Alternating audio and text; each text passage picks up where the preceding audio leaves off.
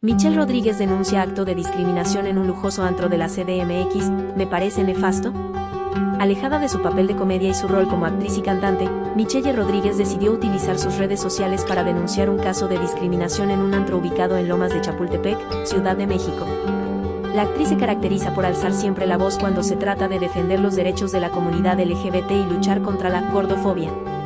Por eso, en esta ocasión, no dudó en exponer un incidente que la molestó profundamente durante el fin de semana. Ayer a una de mis amigas, que además es gente de mi equipo, fue discriminada en Fonic, en Palmas. Lo que pasó es que ella fue al antro con sus amigos, solo a ella no la dejaron pasar y yo pensé que eso ya no pasaba. No podemos seguir participando de esto y que si hay alguien que se encarga de tomar acciones para que esto no pase, pues que las tome.